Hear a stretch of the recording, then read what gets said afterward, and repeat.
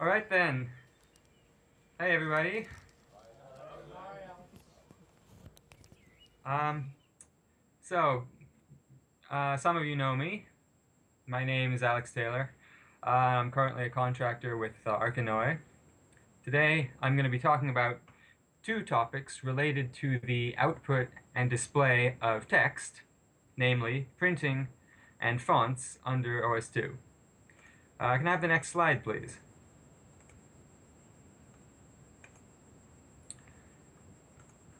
Uh, this is a quick outline of what I'll be covering. Uh, this is mostly useful if you're going to be downloading the slides later. So uh, can we go straight on to the next slide, please?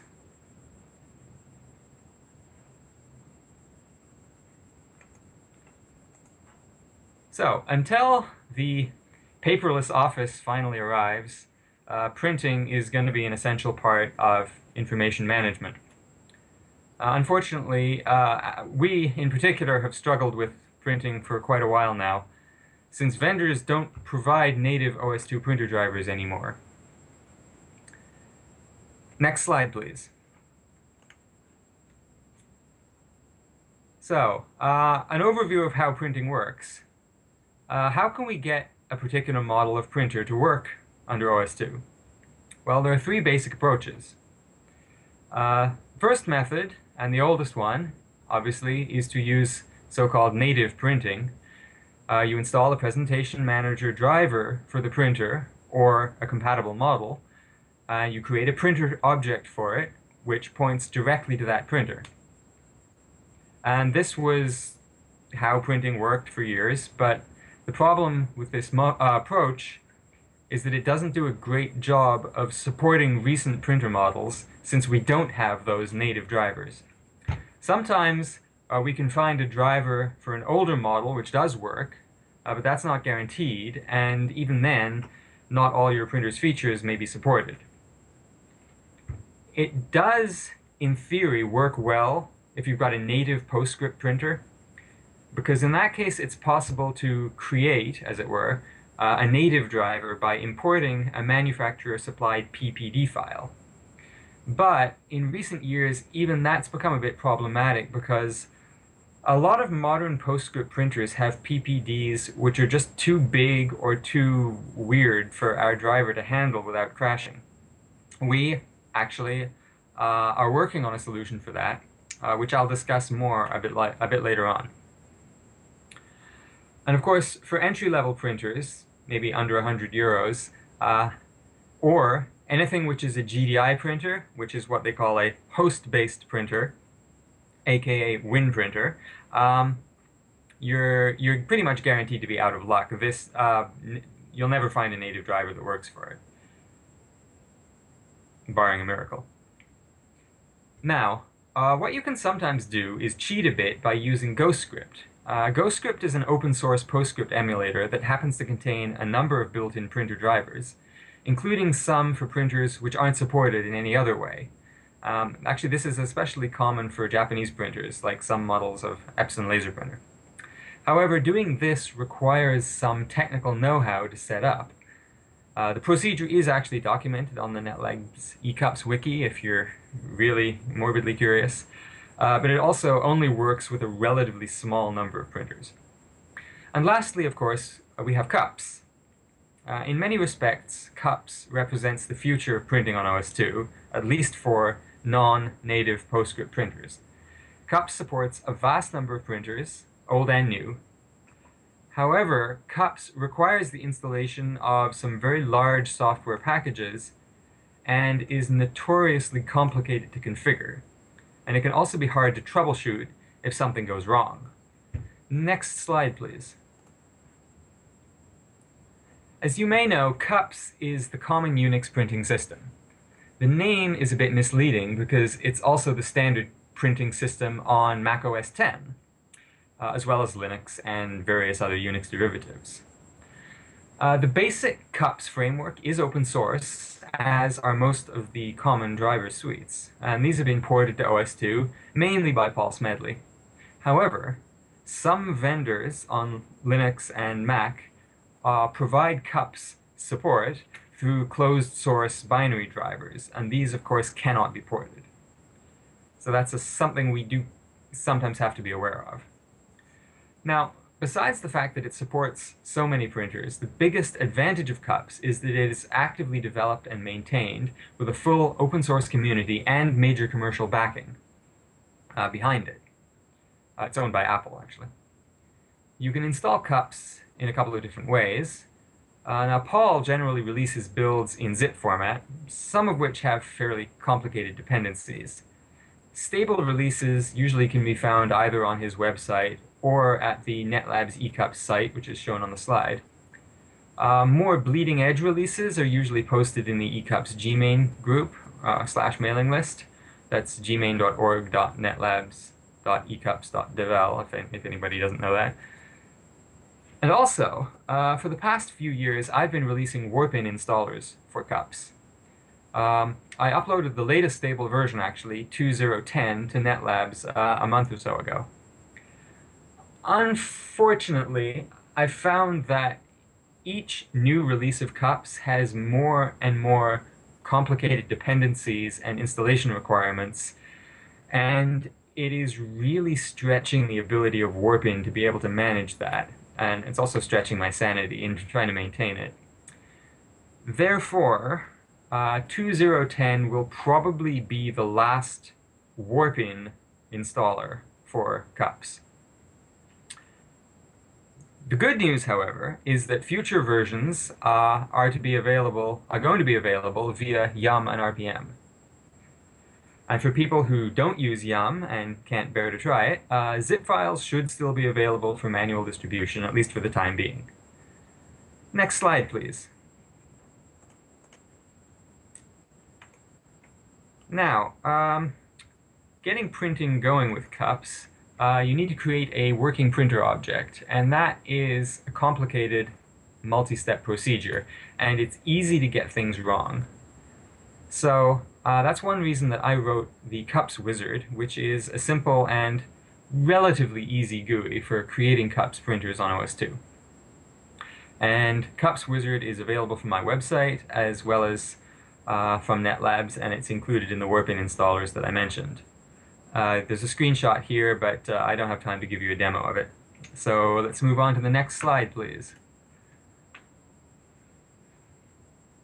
Okay then, PM Printer Manager. This is another GUI which I wrote to try and simplify printer management. Uh, this is an app which combines the functionality of several older tools, many of which I also wrote. And it's intended to be a sort of one-stop shop for managing your printers. Although, I admit it's maybe not 100% of the way there yet.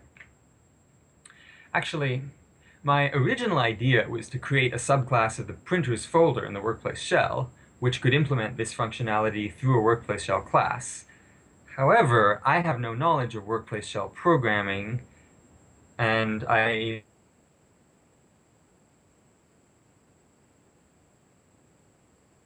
so I did it as an application instead.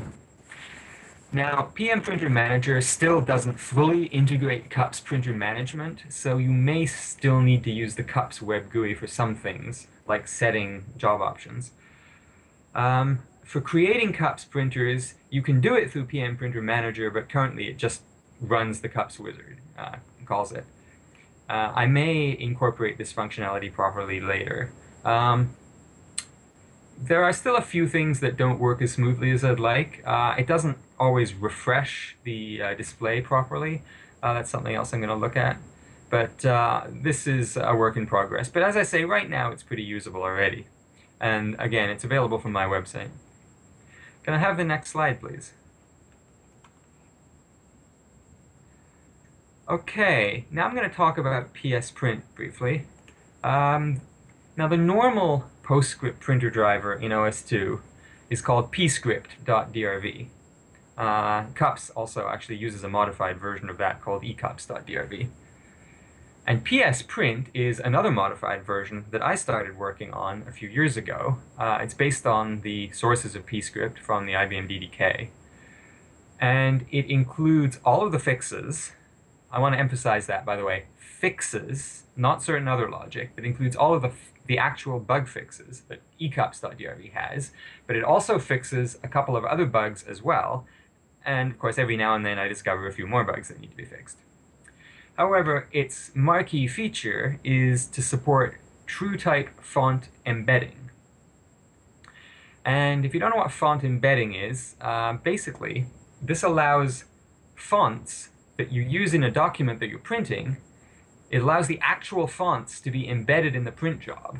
And this allows the text to be rendered properly in the printout as text, rather than being simulated through bitmaps. Now, the original PostScript driver from IBM, PScript, only allowed embedding of PostScript Type 1 fonts. The thing about PS Print is that it lets TrueType fonts be embedded as well, and let's face it, the majority of fonts nowadays are those TTF or, or OTF, but that's a separate story. Um, not many people really use um, Type 1 fonts anymore, so this is one reason uh, that I thought this was useful. Now doing this, embedding the fonts, generally makes the printed text look better, and it kind of depends on the job, but it can often result in a smaller print job as well, which in turn may lead to faster queuing, spooling, and printing. And, as a bonus, if you use a printer object to generate PDF files, such as through ePDF or PMPDF, uh, it provides the same benefit in the PDF. In other words, the PDF actually contains the text and not a bitmap of the text, which allows things like text searching to work. Next slide, please. PS Print is pretty stable for most uses. It's still under development, uh, of course, and it isn't perfect yet. Uh, there are still a few bugs that I'm aware of, which I'll talk about uh, in a moment. But uh, recently, some special development efforts have been launched to fix some long-term issues related to using pin to import PPD files. And these are issues with all of the PostScript drivers, pscript, ecups, psprint. And actually, uh, Jan van Wijk has been doing a lot of work on this. Uh, and he's made a lot of progress so far. Now, the problems that we were having with PIN, uh, as mentioned, a number of modern printers supply PPDs which can't be imported successfully. In the simplest case, this simply causes PIN to fail by crashing when you try to import the PPD. More, um, more dangerously, uh, in other cases, PIN may appear to work, and the driver actually reports as available and installed, but when you actually try to print something, your application may crash or something else weird might happen. Because even though the driver seems to have imported the data, what it actually imported is just corrupt in strange ways. So these are the issues that we've been trying to fix, and we've made a lot of progress at fixing them, I'm happy to say. I'm hoping that uh, uh, a new release which uh, provides these fixes can be made public fairly soon. Can I have the next slide, please? Uh, as I said, PS Print isn't uh, perfect yet. We're still testing the various PPD issues, although it does look promising so far, as I've said. Now, here are some other known issues with PS Print, and I don't necessarily have a timeline on fixing all of these. Uh, first of all, it may still be necessary to clean your PPD files, especially ones that are for use with cups, uh, before you import them. If you use PM Printer Manager or CupsWiz, uh, it will try to do this automatically. But if you use pin from the command line, you might have to run, uh, there's a script floating around called clean PPD. It's available on the eCup site. Um, you may have to run the PPD through that before you can get it to uh, import successfully. Uh, another problem, in the past, some people have reported problems with printing equations in Lotus Word Pro. And this is caused by the wrong um, scaling units being used. So when it tries to draw the equation, it uses a special coordinate system and it ends up either drawing them at microscopic size or such a huge space that it, it ends up off the page or something. At any rate, I've poked at this problem a bit, but since I can't, I don't use Lotus myself. In fact, I don't think I have it installed in any of my computers these days. So I can't tell whether it's still an issue or not. And if anybody has Lotus Word Pro and knows how to produce this problem, um, I'd certainly be happy if you could tell me whether this still really does happen with the latest version. Um, once the latest version is released. Uh, another one, uh, I recently found out about this one, actually. If you print an ASCII text file in plain text mode, with word wrap turned on in the printer properties, and you have a TrueType font selected, you will get a corrupted printout. The text will be mashed together or running over itself, and so on. Um, so that's definitely a, a, bug that is probably my fault, so I'm going to have to figure out what's happening there. Haven't had a chance yet, but I hope I'll get to it soon. Um, finally, uh, if you print from Lucide, the uh, venerable PDF viewer, uh, and you use PostScript mode to print, this may not work on some printers. I think it usually works on cup in uh, with cups, but if you have a native PostScript printer, it may or may not work. And this is due to a combination of how Lucide generates print jobs uh, with one of the logic paths in the driver. Uh, basically, the job gets sent to the printer without a valid PostScript header. And some printers are okay with this and will print just fine. Others may not do anything, and some may start spitting out garbage. So if this happens to you, uh, you can try printing in image mode instead, which is one of the options that Lucide offers you, although the print quality is a bit lower. Next slide, please. Moving on now. Um, PDF files are a common way of exchanging uh, print formatted documents. People often need to work with them. I'll briefly talk about the two most basic tasks, creating PDFs and printing them. To create PDFs, there are a number of software tools for OS2, in particular PMPDF and ePDF. These both work in basically the same way. You create a printer object that uses some generic, or fairly generic PostScript printer driver, but instead of using a standard printer port, you print to a special filter that's set up by the tool. And this filter takes the raw PostScript file that's generated by the driver and runs it through GhostScript, which is the program I mentioned earlier which converts it into a PDF. Uh, both of these programs, PMPDF and ePDF, are free, and they're both fairly easy to use and set up. Uh, of course, you can always do this manually on your own if you're comfortable with it. Just use a PostScript driver to print a file, and then you end up with a PostScript file, and you can use GhostScript or its GUI GSView to convert that PostScript file to a PDF yourself. It's a bit of an extra step, but it's not that hard. Um, now, Firefox and SeaMonkey also have the ability to generate PDFs. And this, this is rather nice, actually. When you use the print to file option from Firefox, if you specify an output file name which has the extension PDF, it will automatically generate a PDF for you. Uh, same with SeaMonkey. I'm not sure if uh, Thunderbird does the same thing, but quite likely. Uh, and of course, OpenOffice has an option to export to PDF as well, uh, although in my experience you need at least version 3 of OpenOffice for this to work properly. So moving on to printing PDFs, uh, it's pretty simple. If you have a recent version of Cups, for one, for one thing, you should be able to just dump the PDF to the printer queue, since Cups can automatically handle PDF files natively. Um, and you can also print PDFs using GSView, which is the free GUI for GhostScript, which I mentioned, although the interface, I admit, is a bit awkward. And, of course, a good PDF viewer can print PDFs. QPDF is one, although QPDF requires that you have cups installed. It cannot print to a non-cups printer. The other main one is Lucide, which some of us still use, some of us still like, sorry Silvan, and which uh, I believe Arca Noae is planning to try and resume development of watch this space, I guess. So that's basically printing. Uh, let's move on to the next one. The next slide, please.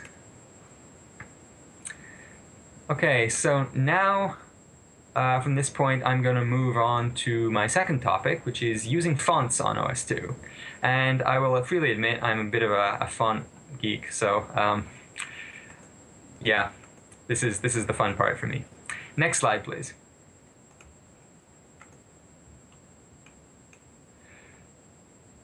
So, um, let's talk about desktop fonts, that is fonts on your desktop.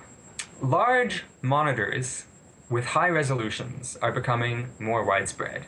Look at Apple's Retina displays, for example. Unfortunately, it's hard for OS2 users to take advantage of this because even if our video driver supports, I don't know, 3000 by 1800 resolution, uh, we still have fixed size icons, although, as Lewis said, there, we might be able to address that. Um, but we also have relatively small default desktop fonts.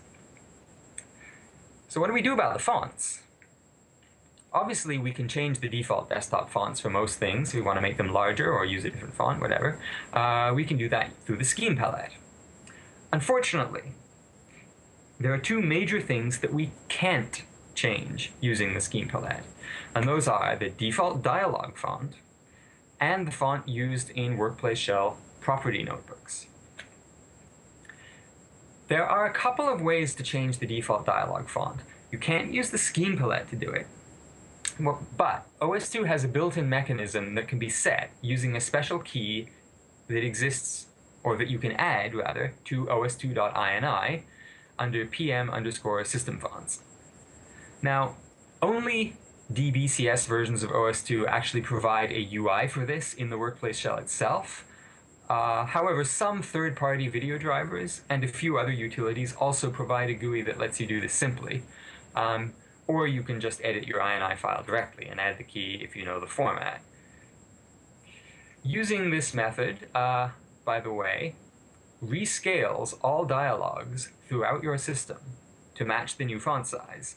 And what this means is the default dialog unit size, if you're a programmer you'll know what I mean, is scaled according to the default dialog font. Now, this, in, in theory, this is good because it means the dialogues should scale according to the, the default dialog font. However, if you used a smaller font than the default dialog font when you designed your dialog and you sized your dialog to match that smaller font, you, if the user changes the default font, their dialogues might end up too small, which could lead to text clipping. So you've got to be careful. And I was um, I used to be guilty of this in the early days. I was um, brought to my senses by uh, a particular individual who pointed out, and I've come to agree with him, that when you design dialogues as a programmer, you should always design them so that they look okay with the default dialog font, which is normally 10-point system proportional. An alternative method for changing the dialog font is provided by Styler2 eStyler, Styler Lite, etc. Uh, and I think Object Desktop back in the day also had a similar feature. Now what this does is it actually subclasses the PM dialog controls to replace the default presentation parameters with a, diff uh, a different font of your choice. Using this method does not rescale the dialogues themselves, which means on the plus side it avoids the issue of carelessly designed dialogues getting clipped but on the other hand, it also means that you have to choose a font so that it fits properly on all existing dialogues.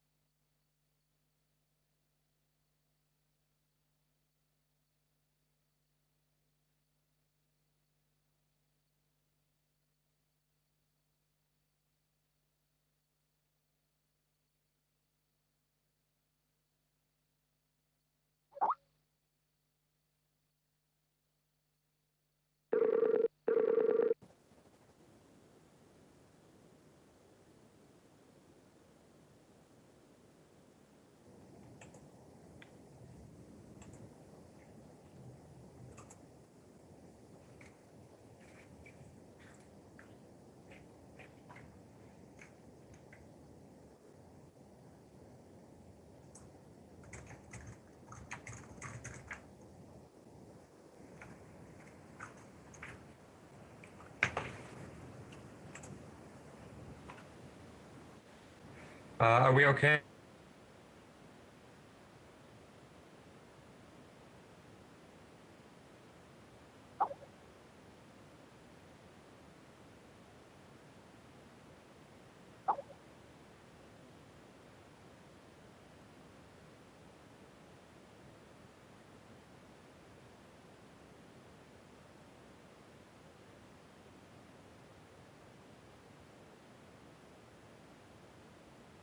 one.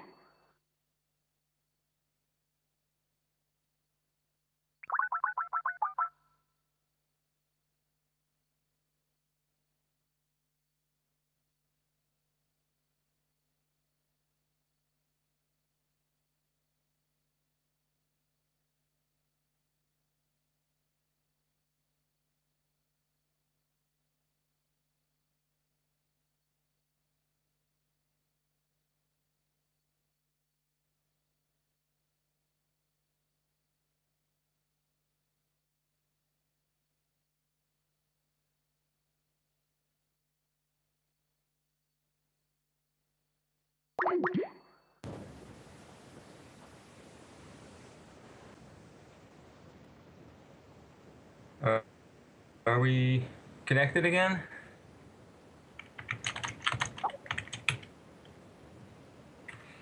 Okay, so I'll continue then. Sorry about that.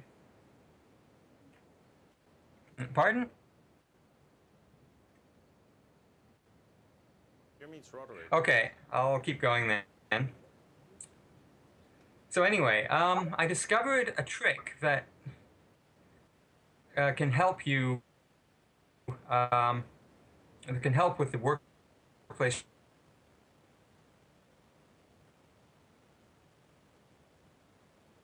additional sizes to the built-in Warp Sans font. Uh, I added basically 10 point and 11 point to the Warp Sans font. And if you install this font, I discovered that if your desktop resolution goes above a certain size, and I'm not sure what the threshold is, then the built-in Workplace Shell property notebooks will magically switch to 10-point Warp Sans. I don't know if it'll go up to 11 point on even higher resolutions, but I thought this was really interesting. It's actually really handy on my old um, ThinkPad T43, which has a really high resolution screen, but um, not actually a very large one. So uh, getting that 10 point font on the workplace shell notebooks was uh, actually quite quite nice.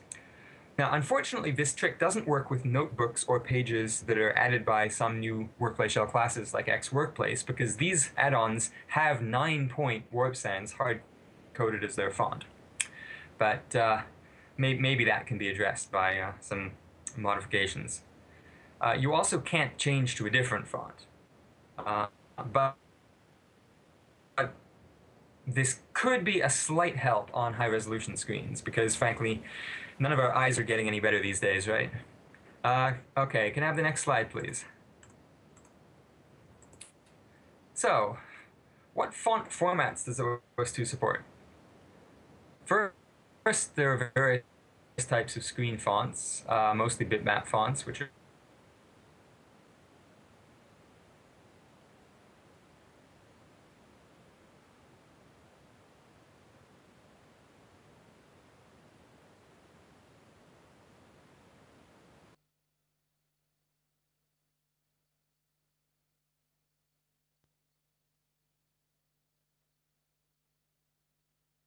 and uh, more of that later. Did we just lose the connection again? Mm, maybe not. So anyway, hopefully, hopefully everybody knows how to install a font on OS2. Uh, you can use the font palette, edit button, and then add, uh, if you're not aware of that. Or you could, uh, another way is to manually copy the font file to its destination and then drag it into the X.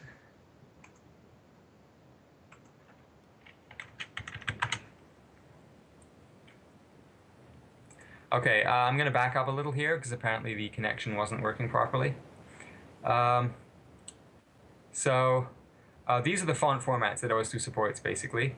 And the reason I marked OpenType CFF in italics is because it's not supported out of the box, but I'll discuss that a bit more later. So hopefully you all know how to install a font. Um, you can use the font palette. You can use the XWorkplace font folder. Uh, there are some other programs on uh, on Hobbes uh, and so on, which can also install fonts. And recently, there have been a number of WarpIN font packages which take care of the installation for you, most of which I uploaded. Next slide, please. Now I'll take a closer look at each of these formats, and I'll try to be quick because we're a little um, running a little behind. So screen fonts are called that because they're only for use on screen. Uh, OS2 supports several formats of this type, all of which are OS2 only. They won't work on other platforms. And since no printer understands these formats, they can't be printed unless you embed them into an image first, of course. Uh, this also means that these screen fonts are not supported by the cross-platform FreeType library, and therefore cannot be used by any application which depends on FreeType for font support. This means Firefox and other Mozilla apps, OpenOffice, or anything based on Qt4. Now the basic type of screen font is the Presentation Manager bitmap font format. Warp Sans, System Proportional, System VIO, System Monospaced, etc. Now, being bitmaps, these fonts are optimized for clear, crisp display on screen at relatively low resolutions. Uh, however, they, they, cannot be transformed, so they can't be rotated, they can't be freely scaled, etc. Uh, these fonts do support multiple languages to a point, uh, but they do that through an encoding that only supports around a thousand characters total in certain specific languages. If you need to define a font with more characters than that, you would need a different format. Because of this, IBM introduced around the mid-1990s a new font format called the combined font. These fonts have the extension CMB or ABR. Now what a combined font is, is basically a special container that combines several physically separate fonts into one virtual font with its own name and properties. This is most commonly used on DBCS versions of OS2 to support bitmap fonts with tens of thousands of Chinese characters. However, this font can also be used to create font aliases. Basically, if you create a combined font with only one member, you've just created an alias for that member. And the most recent versions of OS2 include one such font, Times New Roman MT30, which is actually, if you look at it, it's, a, it's not a TrueType font, it is a CMB file, which is simply an alias for Times New Roman WTJ, a different font. Now this font format is documented in some very obscure IBM documents, but not very well. And there are also no tools for creating these fonts currently available, although I did actually start to try writing one once upon a time. I kind of stalled, but the source is on my GitHub page. Now finally, moving into the realm of pure trivia, we have what's called the Unifont format, which is also described in the same obscure IBM documents. Now this format this type of font is so rare that I'm not entirely sure if any actually exist. However, there is a driver for them. It's included in OS2, pmunif.dll. So, there may be some out there somewhere, perhaps for some special IBM customers. Uh, now, the Unifont format is basically an extended bitmap font format, which supports native Unicode encoding. And that's really about all I can tell you about it. Okay, next slide, please. Okay, most cross-platform fonts use a vector-based format, and these are sometimes called outline fonts. PostScript Type 1 is the oldest format in common use. It was developed in the 1980s by Adobe. Each font, each Type 1 font consists of multiple files. Uh, the actual glyph data is contained in a PFB file. Data about character names and measurements is contained in a metrics file. This comes in any of several possible formats depending on the OS. Under Windows, it's a binary file with the extension PFM. Under Unix, it's an ASCII file with the extension AFM. And under OS2, it's a binary file with the extension OFM.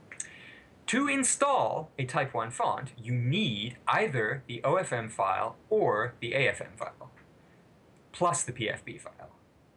if you install using an AFM file, OS2 will automatically convert it into an OFM file for you.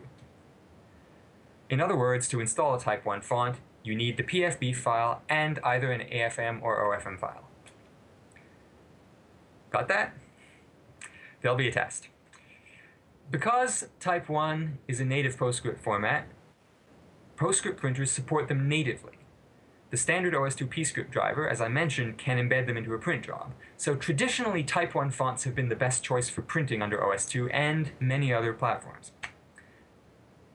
Have traditionally been. This isn't quite true anymore. Now, the problem with this format is it doesn't support Unicode encoding, and it can only contain up to a few hundred characters. So if you want to support Latin and Cyrillic and Greek and Hebrew and Thai and everything, uh, sorry, you're out of luck. Um, well, you might be able to get those, but you wouldn't be able to get Japanese and Chinese as well, and you probably wouldn't be able to get any of a dozen or so other languages that people might need. So, um, also, Type 1 fonts don't have highly sophisticated hinting, which means they may not look great on screen, although they'll look beautiful when printed. Now, Type 1 fonts were the standard for high quality desktop publishing until about 10 or 15 years ago, and most professional fonts were, up to that point, distributed in this format. Nowadays, however, OpenType has largely replaced it. Next slide, please. To compete with Adobe, who had the monopoly on fonts with their Type 1 format, Apple and Microsoft decided to get together and jointly develop the TrueType format around the early 1990s. The TrueType specification was made publicly available, and Apple and Microsoft really pushed the format aggressively. So, a lot of people started making TrueType fonts. Unfortunately, this meant that a lot of cheap and poorly designed TrueType fonts flooded the market, which caused TrueType to get something of a bad reputation amongst graphics professionals. However, the TrueType format is in no way inferior to Type 1. In fact, in many ways, it's more sophisticated and powerful. TrueType fonts support multiple encodings, including Unicode, and up to tens of thousands of characters in a single font. TrueType also supports much more finely tuned hinting for optimal display on screen. Now, OS2 introduced TrueType support in Warp 4. It was then added to Warp 3 in a late fix pack, I think 35 or something. Unfortunately, the early versions of OS2's TrueType driver were not very high quality, which led to fonts looking kind of ugly. Later versions improved this quite a bit, but it's still not perfect. Nowadays, however, TrueType is largely obsolete, and it isn't used much anymore.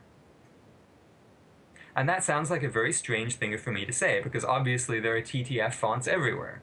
What I actually mean is that the original TrueType format has been superseded by what's called the TrueType Open format, which is more commonly called OpenType TT.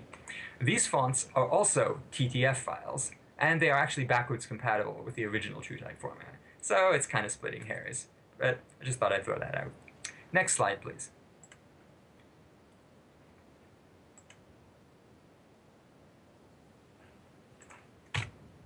Okay, finally, we have OpenType. The OpenType font format was jointly developed by Adobe and Microsoft. You keep track of these alliances. Um, it's actually an extension of the TrueType format, which adds many new features.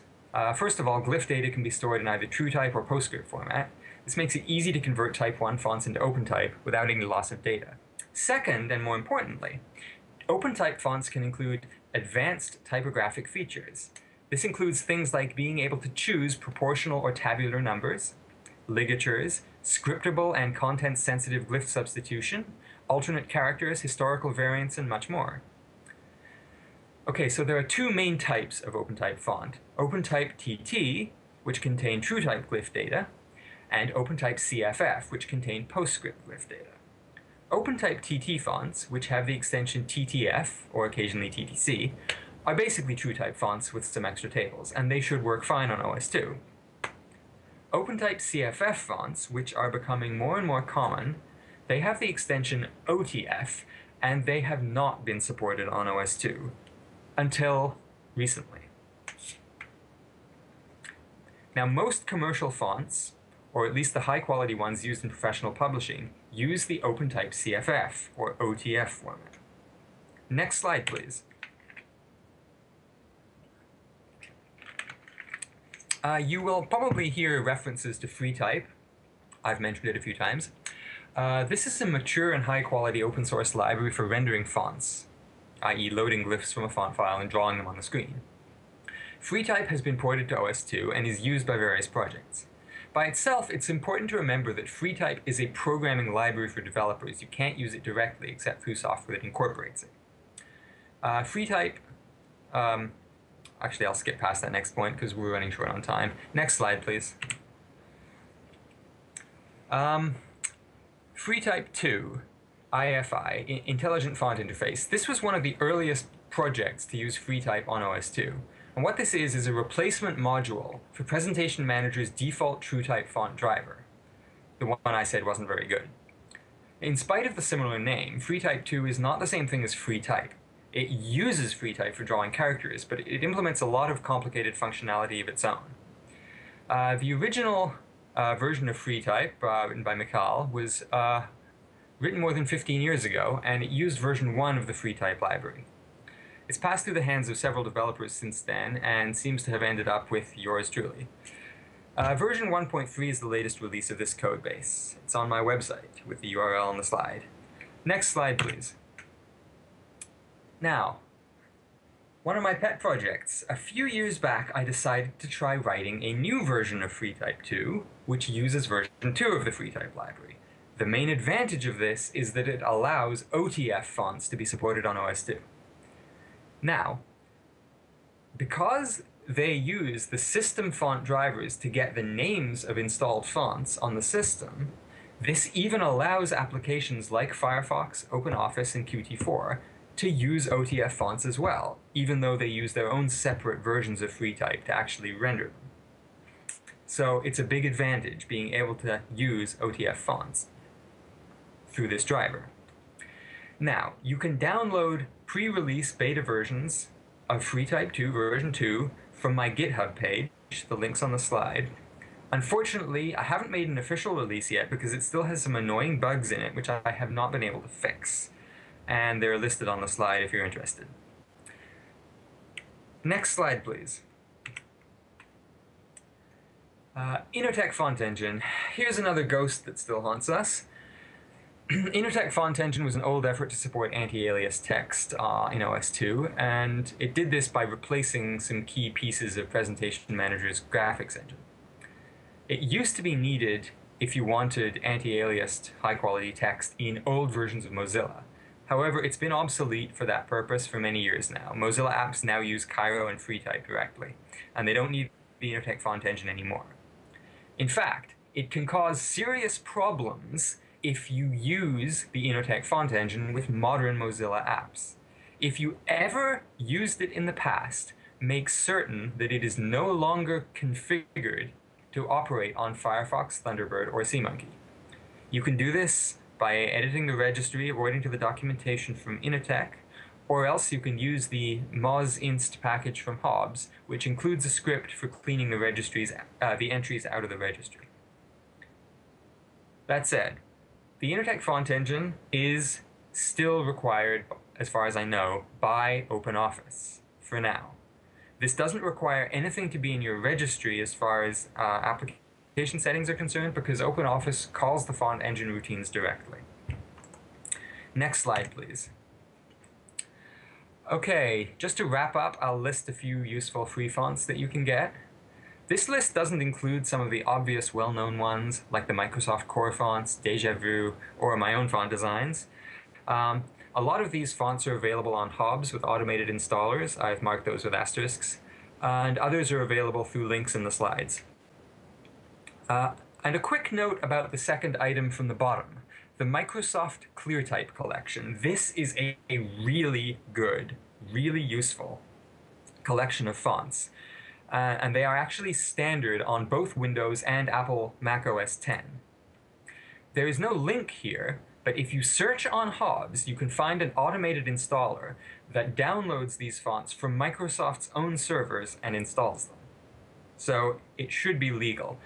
There is something in the license about requiring that you have Microsoft PowerPoint Viewer installed as well.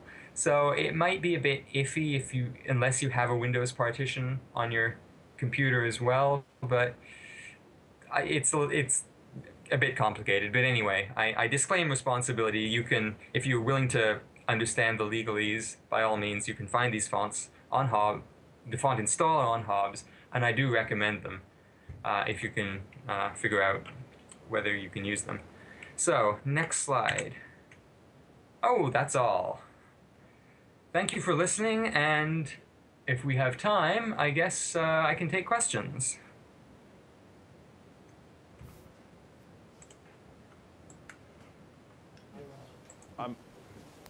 I'm just waiting to see if there's somebody that has a question, but it seems everybody is awfully quiet here. Satisfied. Satisfied. Yeah, did I send him to sleep? No, no, no. Overwhelmed. Yeah. Overwhelmed is the uh, question. Well, that just goes to show how much goes into keeping fonts and printers moving on OS2. Um, Alex, I think there are no questions then. So thank you from Japan for, because I think at your side, what time is it now? 10? Uh, yeah, just after 10. Okay, so, well, you have a good night's sleep and uh, uh, thanks for, uh, for dialing in from the other side of the world.